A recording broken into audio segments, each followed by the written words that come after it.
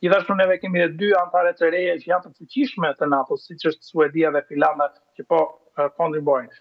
Kështu që ai shqetësim që zoti Trump ka patur me NATO-n përpara katër vitesh nuk është më i njëjti.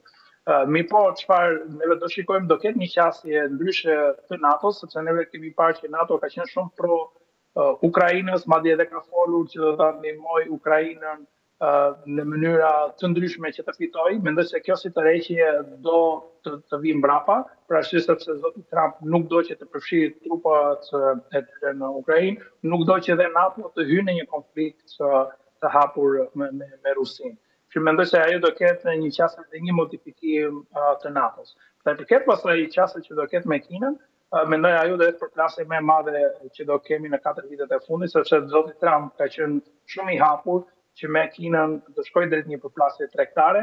Ai ka folur shumë hapur dhe ky është edhe një shqetësim që edhe europianët kanë që ai ka përsëritur tarifat, ka përsëritur edhe doganat në shumë nga mallrat tregtare, sepse ai shikon pa që shumë nga atyre nuk është në favor të Shteteve të Bashkuara të Amerikës, dhe nuk mendoj se do ketë një përplasje e Kinës që do shkojë në Taiwan, për shkak sepse SHBA-ja me Kinën kanë për të avancuar përplasjen e tyre dhe mendoj në katër vitet e ardhshme kjo do jetë përplasja më e madhe në qoftë se ne do të flasim në arenën globale.